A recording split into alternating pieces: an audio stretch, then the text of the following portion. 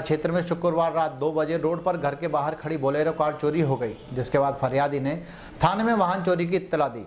थाना प्रभारी पीसी कोलाया ने बताया कि बड़वा पुलिस थाने पर मनीष जायसवाल ने रिपोर्ट दर्ज करवाई है कि मेरे घर से वाहन अज्ञात चोर चुरा कर ले गए। पुलिस ने मामले को गंभीरता से लेकर जाँच में जुट गई। सुबह दस बजे के लगभग हमें पता चला कि उधानिया के जंगल में अज्ञात लाल कलर की बोलेरो गाड़ी नंबर एम पी नाले के पास खड़ी है।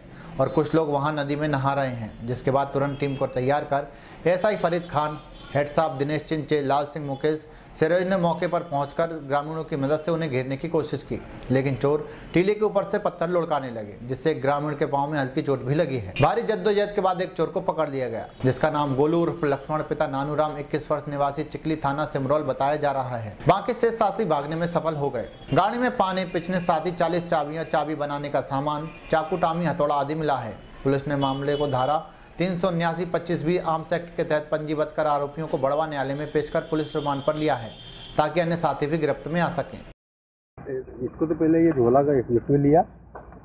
उठा के लिए हम सब पैक कर देते हैं अपन। ये झोला वाला सब अलग अलग लिया।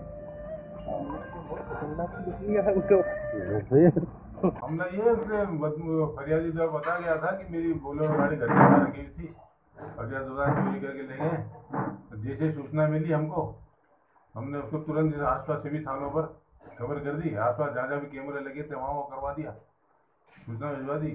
उसी दौरान सूचना मिली कि बाबू तरफ़ कैमरे लगे हुए हैं कि वहाँ वहाँ से भी हमको खबर लगी कि लाल कलर की जो गाड़ी है, वो उधर ने जंगल तरफ़ दो बदमाश लेके जा रहे हैं।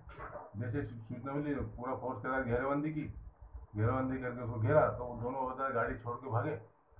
तो उसमें एक को तो पकड़ लिया है।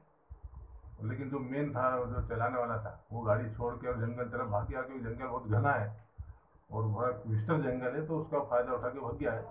उसकी भी जानकारी ले ली है, वो बहुत शातिर बदमाश है। और सिमरोल और कन्नाडा थाने पर उसका काफ़ी रिकॉर्ड है।